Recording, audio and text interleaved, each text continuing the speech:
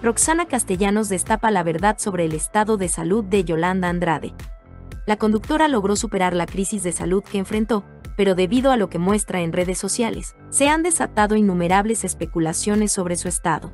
Tras el episodio, la presentadora desató fuertes rumores de una recaída, cuando publicó una grabación en la que su hermana Marilé le ayudó con la aplicación de un medicamento, también por dejar plantado a Alberto Estrella en un evento de teatro hace unas semanas. Ante lo que se dice sobre el estado de salud de Yolanda Andrade, su amiga Roxana Castellanos rompió el silencio y aclaró, por fin, cómo se encuentra la conductora. Durante una conferencia de prensa sobre su participación en una obra de teatro, Castellanos fue cuestionada sobre su amiga y si es verdad que sigue presentando fuertes complicaciones por el aneurisma que padece. Con una sonrisa, la presentadora de Cuéntamelo ya reveló que, pese a las preocupaciones del público, Yolanda Andrade está muy bien de salud.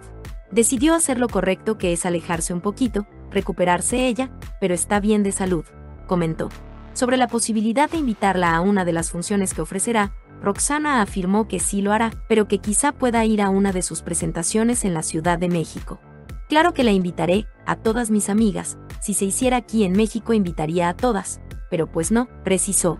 ¿Y tú qué opinas? Deja tus comentarios y síguenos en Noticias Tendencia.